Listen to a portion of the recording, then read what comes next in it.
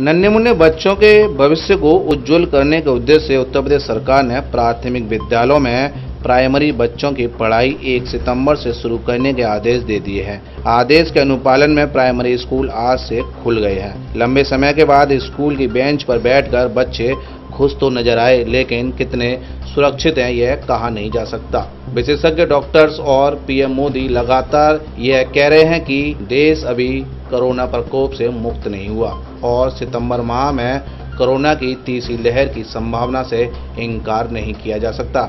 लेकिन शासनादेश का पालन करने के लिए मजबूर प्रधानाध्यापक शिव कुमार शर्मा का कहना है कि शासनादेश के अनुपालन में प्राइमरी स्कूल की शिक्षा शुरू की गई है। कोविड 19 प्रोटोकॉल का पालन करते हुए पढ़ाई कराई जाएगी। मैं शिव कुमार शर्मा इंचार्ज प्रधानाध्यापक कंपोजिट विद्यालय श्यामा देवी नगर क्षेत्र आगरा। कहाँ ये आपका शिफ्ट हो गया है स्कूल? ये हमारा विद्यालय इसमें श्यामा देवी नूर दरवाजे में चलता था और वहाँ से अब शासन द्वारा निर्धारित नीति के अनुसार यहाँ मंडी सहित का में शिफ्ट कर दिया गया। और आज कक्षा एक से पाँच तक के बच्चों के लिए पहला दिन था। हमारे यहाँ छः सात आठ के बच्चे चौबीस तारीख से ही आने लगे थे और आज बच्चों ने बहुत ही आनंद के साथ बच्चे स्कूल में आए। बच्चों का ताली बजाकर बच्चों को माला पहनाकर बच्चों का स्वागत किया। और सबसे ज़्यादा जो बच्चे यहाँ उत्सुक थे क्योंकि इस बिल्डिंग में झूले हैं काफ़ी काफ़ी अच्छी बिल्डिंग है। तो बच्चे आते आते झूले पे झूला झूले। तो बच्चों के साथ हमने टीचर्स को भी बोला कि थोड़ा सा बच्चों को पहले दिन माहौल अच्छा मिला। माहौल अच्छा मिला। बच्चे खेल रहे हैं यहाँ पर। अच्छा अब धीरे धीरे करके उनको पढ़ाई की तरफ़ जैसे कि प्रधानमंत्री कह रहे हैं कि अभी हम खतरे से बाहर नहीं है। कोविड का खतरा बना हुआ है तो उसको देखते हुए जो कोविड नाइन्टीन प्रोटोकॉल की गाइडलाइन है, उसका कितना फॉलो किया जाएगा और करा रहे हैं। तो सबसे पहले आते ही, हमने बच्चों की ये काउंसलिंग की है कि बच्चे कोई भी बिना मास्क के स्कूल में प्रवेश नहीं करेंगे। और साथ ही जिस तरीके के अभी संचारी रोग का भी बड़ा बच्चों को हमने आज समझाया कि बच्चे फुल बाजू की शर्ट पहने और स्कूल में आते ही अपने हाथ धोएँ। खाना खाने से पहले अपने ढंग से हाथ धोएँ, बच्चों के लिए सैनिटाइजर भी है। बच्चे समय समय पर सैनिटाइज करें, ना कि स्कूल में ही, बल्कि केवल घर के लिए भी बच्चों को हमने ये समझाया कि बच्चे अपना पूरा सैनिटाइजर का प्रयोग करें, हाथ धोते रहें। तो जैसा कि जो भी सरकार ने नई नीति निर्धारित की है, सरकार ने अच्छा ही सोच के किया होगा, उसी के तहत हम लोग काम कर रहे हैं। प्रधानमंत्री नरेंद्र मोदी का कहना है कि जान है तो जहान है।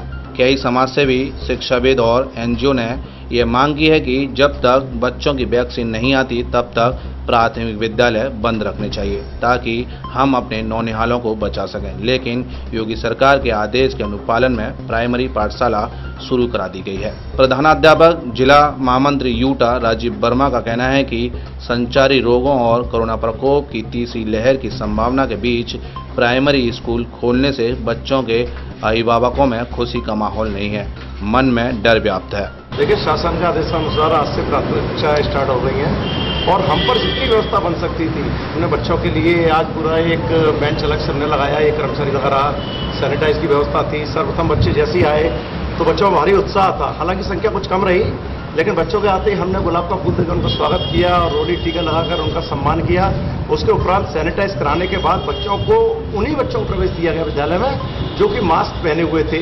जिनके पास मास्क नहीं थे हमने अपने पास से उनको मास्क प्रोवाइड कराया, लेकिन किसी भी बच्चे की बिना मास्क के एंट्री नहीं हुई। उसके बाद जब सारे बच्चे क्लास के अंदर गए तो हर बच्चे की डिस्टेंस में हमने एक सीट को गैप रखते हुए छः छः फुट का गैप रखा है। तब जाकर बच्चों को पढ़ाई हुई है और बच्चों को लंच भी बहुत अच्छे से उन्हीं की सीट पर बैठाल कर और छः छः फुट की दूरी पर रखकर लंच दिया गया है। आज बुधवार था, दूध था तो सब, सबसे पहले शुरुआत फिर बच्चों को दूध देकर की गई। इसी तरीके से हमने व्यवस्था करी है। और आने वाले समय में भी हमने अभी एक हफ़्ते पहले गार्जियंस की बैठक बुलाई थी। उनसे कहा था कि सभी बच्चों को बता दीजिए आप किस तरह से कोविड के नियमों का पूरी तरह पालन करना है। सारे बच्चे पालन कर रहे हैं और हम अपने स्टाफ के साथ जितना संभव हो सकता है उतना प्रयास कर रहे हैं। कोविड नाइन्टीन का प्रकोप खत्म नहीं हुआ, तीसरी लहर की संभावना जताई गई है। कितना उचित है प्राइमरी बच्चों को स्कूल में बुलाना?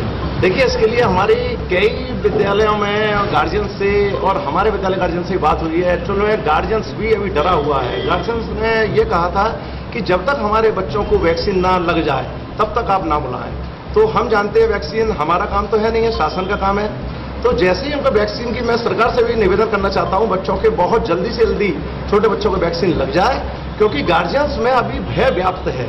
जैसे ही वैक्सीन लगेगी तो कुछ डर कम होगा और आने वाला समय रूटीन में हो जाएगा कोई परेशानी नहीं है, लेकिन वैक्सीन लगना बच्चों को बेहद आवश्यक है। कोरोना की दूसरी लहर में योगी सरकार की अव्यवस्थाओं के खौफनाक मंजर को देखते हुए और बच्चों के लिए कोरोना वैक्सीन आने से पहले प्राइमरी स्कूल में पढ़ाई शुरू करना एक बार फिर जल्दबाजी वाला निर्णय दिखाई देता है।